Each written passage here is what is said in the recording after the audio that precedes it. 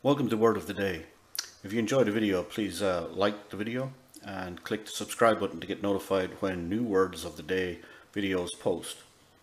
Uh, the word of the day for today is parabiosis. Uh, two definitions. One, reversible suspension of obvious vital activities. Two, anatomical and physiological union of two organisms.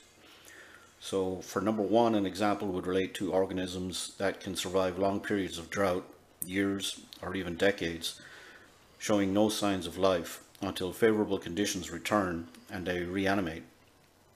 Um, for number two, an example may be co-joined twins where they share organs. It may also relate to parasitic relationship between organisms. And lastly, it uh, may be used in ecology to explain a special type of symbiotic relationship.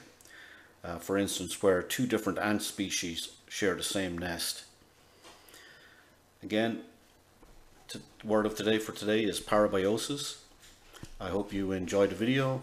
Um, if you like it, please click the like button and uh, don't forget to click the subscribe button to get notified when new word of the day videos post. Thank you.